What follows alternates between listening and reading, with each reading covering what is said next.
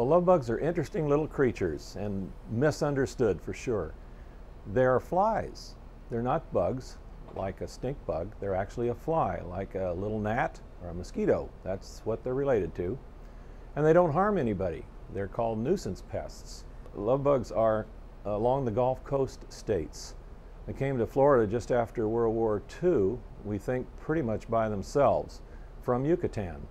And they radiated across to Florida, and we had a lot more of them then than we do now. The love bugs are attracted to exhaust from engines like lawnmowers and uh, automobiles, uh, power washers, and so forth.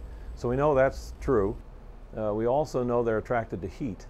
So these kinds of things are right along highways.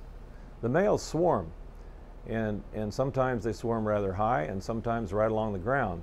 But they swarm over places where the females emerge. So the males come out sooner, they wait for the females and compete for the females.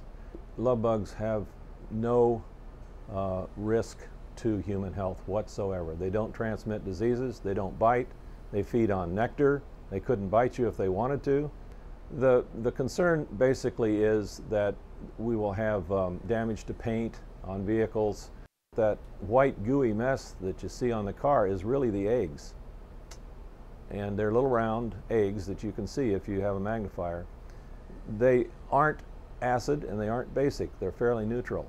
So what causes the problem is leaving those on the car until the sun and the heat and perhaps microorganisms cause them to be damaging. So the trick is to get them off of your car as soon as possible. Love bugs are another one of those, those creatures in nature, and they tell us when it's going to be summer when they come out in May, and they tell us when it's going to be fall when they come out in September. So they are kind of a, uh, an organism that brings in the seasons